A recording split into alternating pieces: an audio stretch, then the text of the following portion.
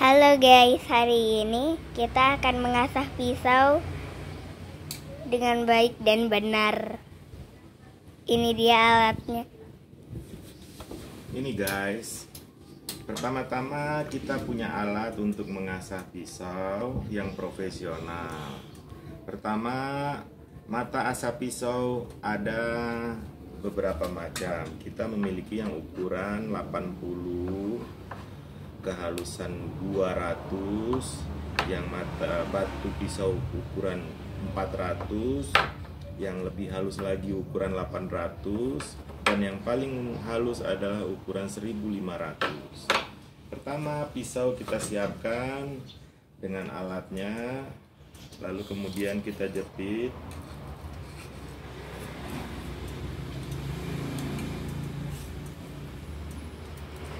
Kok dijepit?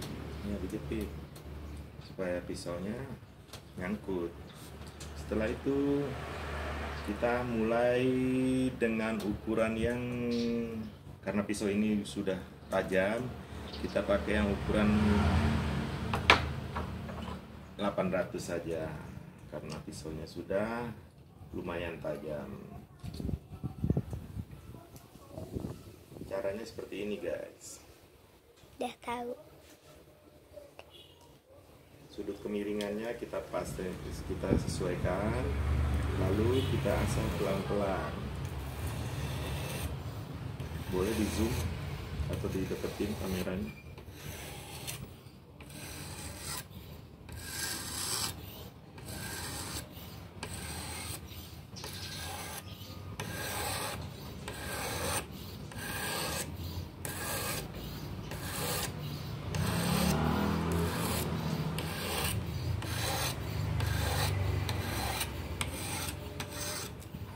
jangan dirubah dulu.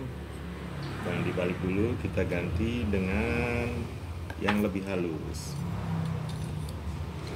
Pakai yang 1500 guys. Kita lanjutkan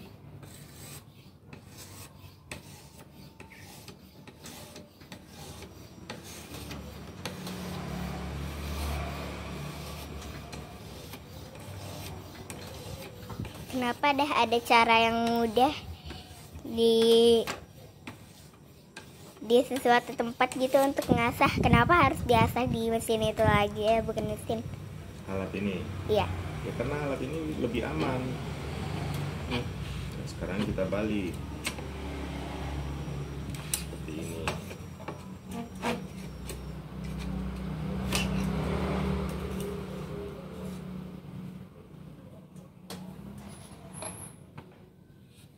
ganti lagi dengan yang 800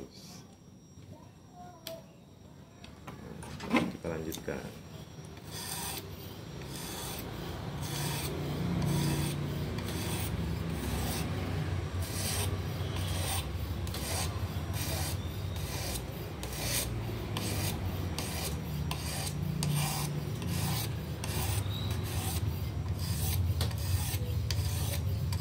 Pak, aku mau mau tanya.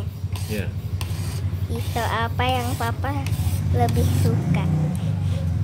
Pisau ini papa suka. Pisau ini merek Cold Steel. Merek Cold Steel itu terkenal juga. Ada juga papa yang pisau yang papa suka lagi itu Spyderco itu yang warna orange itu. Itu pisau bagus. Spyderco itu terkenal juga. Semua pisau lipat. Itu pisau yang itu juga papa suka. Yang pisau ini papa suka juga nih. Aku lebih suka pisau yang itu. ini pisaunya kiri kanannya nggak tajam cuman runcing aja nah ini pisau besinya besi damaskus ya besi damaskus terus gagangnya ini dari tanduk rusa Kependekan. Aku Ya, kurang suka. buat, buat koleksi papa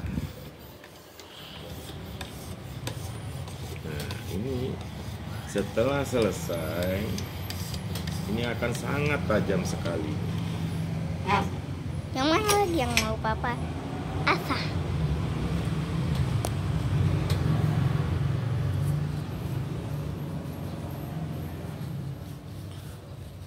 Mungkin yang itu.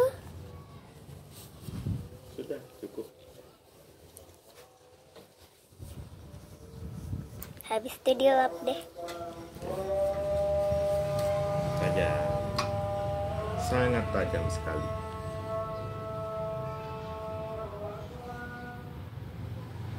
Selesai guys, silahkan ditutup.